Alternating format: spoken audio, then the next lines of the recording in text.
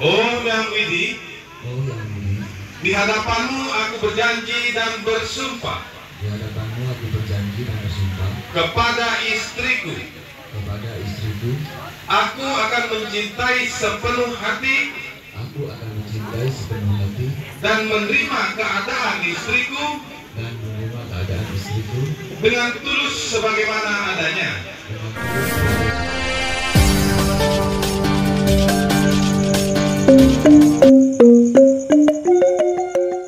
Swastiastu. Halo pemirsa di TV di mana pun berada, selamat datang kembali di channel kesayangan Anda. Channel yang menayangkan segala kegiatan umat Hindu dari Sabang sampai Merauke, dari Miangas sampai Pulau Rote. Pemirsa, keberagaman adat dan budaya di Indonesia membuat upacara pernikahan setiap adat pun beragam dan unik. Salah satunya proses pernikahan sesuai adat Bali yang indah dan penuh makna di setiap tahapannya. Setiap proses pernikahan adat Bali tidak terbentuk begitu saja. Proses pernikahan berpedoman pada aturan kitab suci Weda dan hukum Hindu yang berlaku di masyarakat. Dengan mengikuti kedua aturan tersebut, diyakini kebahagiaan di dunia atau jagadita serta kebahagiaan yang abadi atau moksa akan didapatkan oleh pasangan pengantin. Dalam adat Bali, pada umumnya pernikahan dibagi menjadi dua sistem, yakni memadik atau meminang dan merangkat atau. Sistem memadik dilakukan di rumah mempelai wanita, sedangkan merangkat dilakukan di rumah mempelai laki-laki. Kedua sistem ini dipilih sesuai kesepakatan kedua keluarga. Baik memadik maupun merangkat sama-sama terdiri dari serangkaian upacara yang cukup rumit. Selain itu juga memerlukan banyak perlengkapan yang harus disiapkan. Meskipun terkesan rumit, dalam setiap prosesinya tersimpan makna dan tujuan yang sakral. Nah, pemirsa, berikut ini 11 rangkaian upacara pernikahan sesuai adat Bali beserta makna dan tujuannya. Yang pertama, mesedek. Mesedek merupakan acara pertama pada adat pernikahan Bali. Pada acara ini, kedua orang tua dari mempelai pria mendatangi rumah mempelai wanita untuk memperkenalkan diri. Meseda juga dilakukan untuk meminang wanita dan bersungguh-sungguh ingin menjadi pasangan hidupnya. Meseda juga dilakukan agar orang tua calon pengantin wanita mengetahui seberapa mantap mempelai pria ingin membangun rumah tangga dan bagaimana sikapnya. Acara ini dianggap sukses ketika orang tua mempelai wanita menyatakan setuju. Yang kedua yaitu Medua Seayu. Acara Medua Seayu dilakukan setelah orang tua dari pihak wanita menyatakan setuju anaknya dipinang dan akan dinikahi oleh pria pujaan hatinya. Dalam proses ini dilakukan penentuan hari dan tanggal baik atau duase untuk menggelar acara pernikahan. Pemilihan waktu yang baik diyakini sebagai cara untuk mendapatkan pernikahan yang berkah, lancar, dan tanpa kesialan. Tanggal baik biasanya ditentukan oleh mempelai pria berdasarkan nasihat dari seorang sulinggih atau orang yang sudah dianggap mengerti tentang nikabang pendewasaan atau tanggal pernikahan yang baik. Yang ketiga yaitu ngekep. Upacara ngekep dilakukan dengan memandikan dan mencuci rambut mempelai wanita dengan luluran khusus. Luluran khusus ini terbuat dari campuran daun merak, bunga kenanga, kunyit, dan beras yang telah dihaluskan.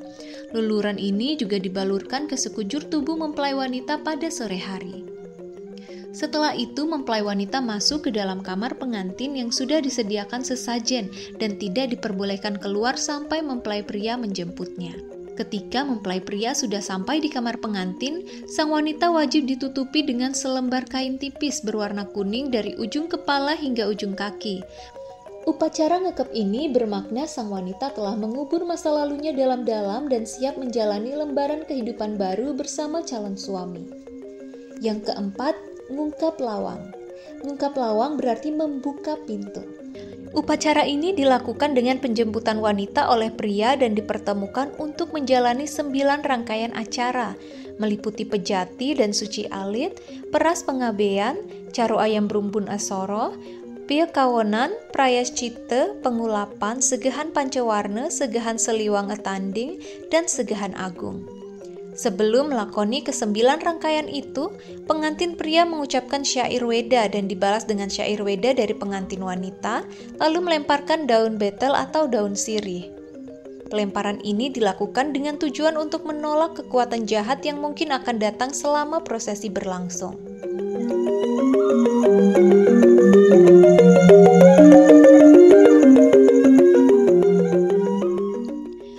Ngungkap lawang pada adat pernikahan Bali sebagai bentuk penghormatan kepada keluarga mempelai wanita dan bentuk harapan akan menjadi pasangan suami istri yang harmonis. Yang kelima, medagang dagangan.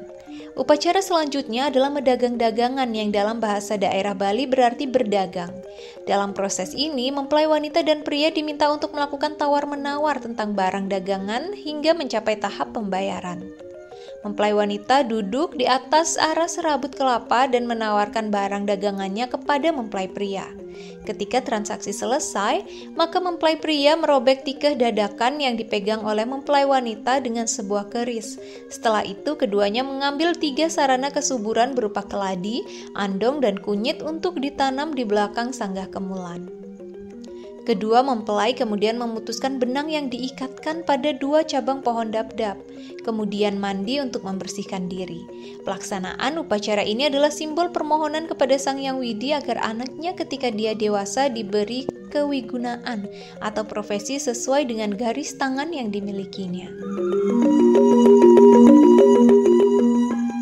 Yang keenam, upacara mekale-kale. Upacara mekal kale atau yang dapat juga disebut dengan upacara buta saksi atau pertiwi saksi ini dilakukan kedua pengantin dengan cara membakar tetimpung di atas tungku bata dan dalam posisi duduk.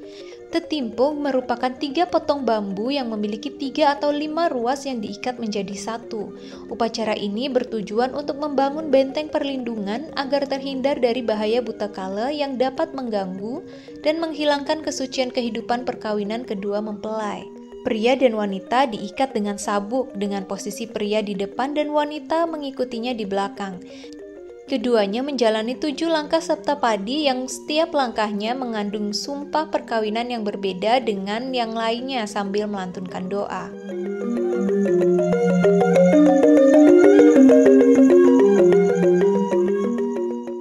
Yang ketujuh, metegen-tegenan dan sun-sunan. Upacara selanjutnya adalah metegen-tegenan dan sun-sunan.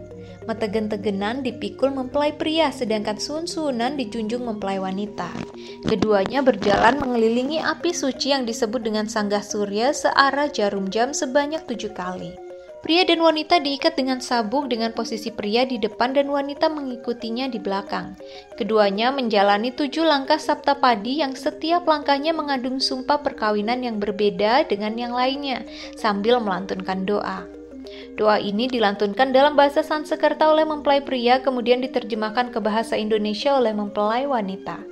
Upacara ini merupakan simbol awal perjalanan dari kedua pengantin untuk mengarungi bahtera kehidupan bersama.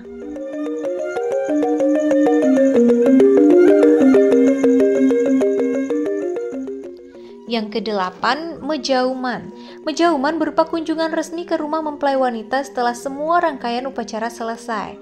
Berdasarkan namanya, kata jaum berarti jarum yang menyeratkan sebuah fungsi jarum untuk merajut dan menyatukan kembali kedua keluarga setelah adanya ketegangan yang terjadi.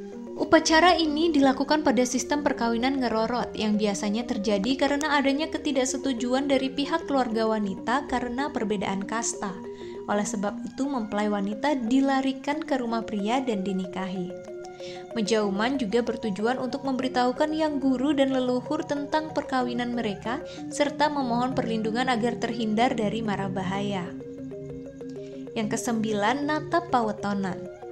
Nata Pawetenan merupakan sebuah ritual yang dilakukan pada sistem perkawinan mepadik. Ritual ini dilakukan di atas tempat tidur dengan cara menyerahkan seserahan berupa barang bernilai seperti perhiasan dan pakaian oleh mempelai pria kepada ibu dari mempelai wanita. Barang bernilai ini merupakan simbol pengganti air susu ibu.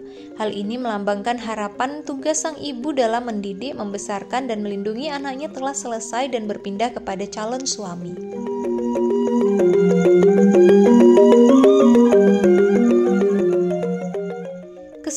Yaitu bekal atau tatadan. Bekal atau tatadan dilakukan dengan cara memberikan seperangkat perhiasan atau pakaian ibadah dari ibu kepada anak wanitanya. Upacara ini melambangkan sebuah harapan sang anak akan selalu mengingat jasa-jasa ibunya yang telah berjuang susah payah dalam melahirkannya. Sementara pakaian ibadah merupakan simbol sang anak diharapkan akan terus beribadah kepada Tuhan Yang Maha Esa. Yang ke-11 yaitu Mejaya Jaya. Upacara Mejaya Jaya merupakan acara adat pernikahan Bali terakhir. Upacara ini dilaksanakan setelah pasangan pengantin telah sah menjadi suami istri. Upacara ini melambangkan harapan agar selalu diberi kemudahan dan bimbingan dari para sang hyang pramesti guru. Setelah upacara Mejaya-Jaya, kedua pengantin tidak diperbolehkan keluar atau bepergian selama tiga hari berturut-turut dan wajib tinggal di rumah untuk melakukan kewajibannya sebagai suami istri. Aturan ini diyakini dapat meningkatkan keintiman hubungan kedua mempelai agar sang pria bisa banyak memberikan nasihat kepada istrinya. Hal ini juga sebagai bentuk penghormatan kepada keluarga dari pihak wanita dengan harapan tali kekeluargaan akan terus terjalin erat. Rangkaian upacara pernikahan adat Bali memiliki makna yang dalam. Dengan melakoni setiap prosesi itu, diharapkan kehidupan rumah tangga pasangan itu akan berlangsung langgeng dan dipenuhi dengan kebahagiaan. Nah, pemirsa, demikian yang dapat kami sampaikan. Semoga bermanfaat. Kelungkung Semarepura, Kirang Langkung, Nunas Ampura. Jayalah Hindu Nusantara, Om Santi Santi Santi Om.